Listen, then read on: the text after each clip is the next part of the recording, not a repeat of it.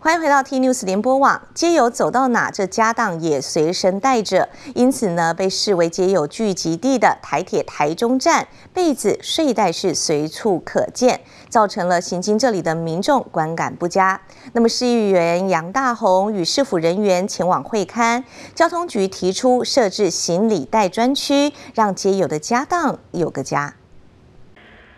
下午四点，台中火车站人潮涌现，以这里为家的街友也陆续聚集，带来烟蒂、垃圾，民众经过都要屏住呼吸，快速通行。这问题到底有解吗？台中市车站整个的门面，那还有就是我们呃交通局那搭乘公车的地方，那有发生就是说游民，那就是说在这边有堆放杂物，那变成说我们整个的市容都变得非常脏乱。那更糟糕的是呢，就是游民也会在这边便溺，那造成说呢，我们整个车站还会有异味。那所以希望说呢，诶，能不能就是说联络我们台中市的各个局处来联合来去解决这个问题。纸箱家当就堆在扶手边，一出车站映入眼帘的不是台中美景，而是脏乱的景象，实在有碍观瞻。交通局表示，每周都会进行不定时清理，但街友们疑似都会事先得知消息，等到相关人员离开后再回到原位，让市府很伤脑筋。